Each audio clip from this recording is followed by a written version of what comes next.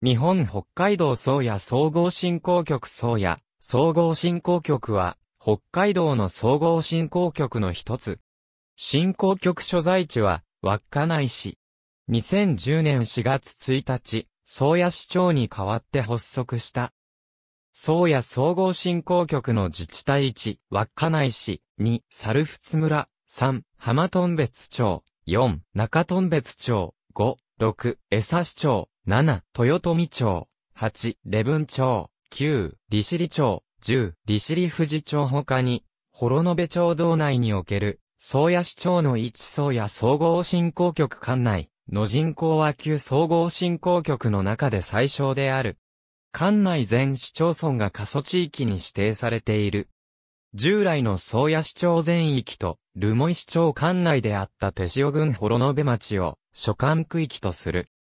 14市町を旧総合振興局、5振興局へ再編する、北海道総合振興局設置条例において、市長からの名称の変更はなく、隣接する振興局の広域業務に関する、兼務規定も定められていない。稚内市以外は、酪農と漁業が主産業である。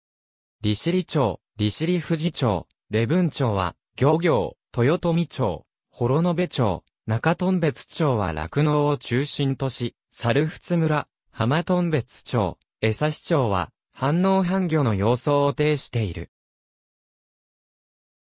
漁業は稚内市は、かつて漁業の町として、大変栄えていたが、200回力制後は、漁獲量の減少、資源の枯渇によって衰退した。水産業畜産業現在は、第三次産業が主となっている。観光業最近では、漁業から観光産業への転換が図られている。しかし、近年は、宗谷管内全市町村で急激に人口が減少しており、全市町村が過疎地域に指定されている。ありがとうございます。